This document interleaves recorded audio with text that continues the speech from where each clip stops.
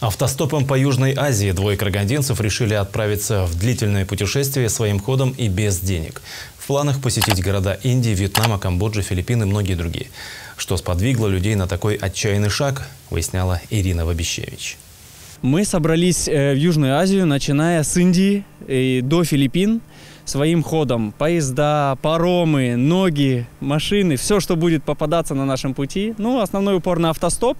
Станислав с Марией, муж с женой, оба имеют высшее образование и достойную работу. Не так давно они путешествовали по Казахстану и вдохновились от таких же, как и они, путешественников идеей познавать самостоятельно мир. Более полугода назад они твердо решили покорить Южную Азию и начали разрабатывать маршрут, изучать особенности стран. В каждой стране есть свои правила, скажем так. В Индии пешком много не походишь, там хищники, дикие звери, и там нужно больше, наверное, поезда и с людьми. Там очень опасно в этом плане. Дальше уже Таиланд ближе туда, Вьетнам хотим, Камбоджа. Все эти страны, порядка, изначально порядка 10 стран на нашем пути, до Филиппин, до островов. А на островах там 7 тысяч плюс островов, там вообще можно шагать и шагать, скажем так. И хотели бы вернуться назад на родину автостопом через Китай, если будет такая возможность.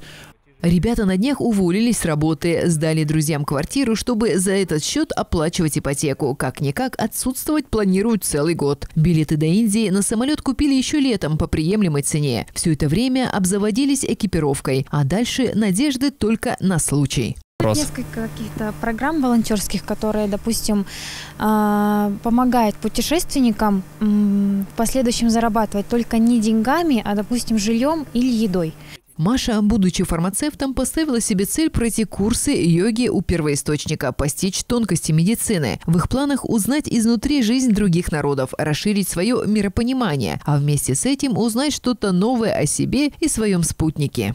Сподвигло то, что вот какой-то был застой э, моральный, поэтому надо было что-то дальше делать, дальше развиваться. Мы работали вот на квартиру считать, получается, на машину, и в последующем решили, что жить, жить можно по-другому. У нас выходили смены, то есть мы работали по 12,5 часов, поэтому, допустим, на э, свою личную, допустим, жизнь у нас времени не хватало. Свои путешествия ребята планируют снимать и публиковать в социальных сетях. Ирина Вабищевич, Рустам Бараев, Наталья Заяц, Пятый канал.